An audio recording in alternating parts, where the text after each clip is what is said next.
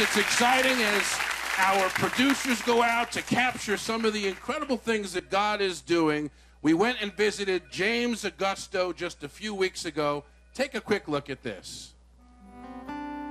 I came from the streets to jail, to prison. I have a very violent background and a history of organized crime and drug trafficking, etc., etc. And in my house, it was crazy because it was four of us, but we were in four different gangs. And we were at each other, you know, and by me being the youngest, well, you know, I was sort of like a mama's boy in a way. And I loved my mom a lot. She was there for me, you know, no matter what.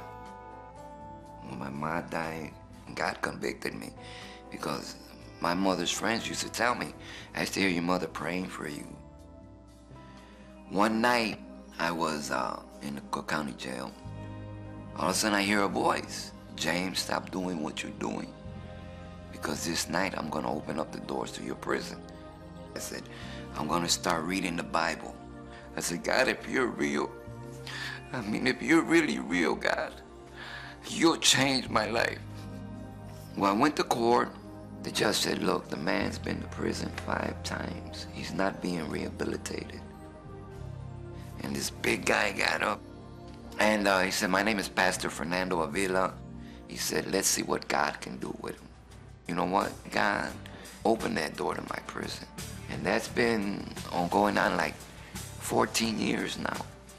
I know now that, you know, God saved me for a purpose. I've gone back to a lot of areas that I used to operate in and minister to a lot of these guys.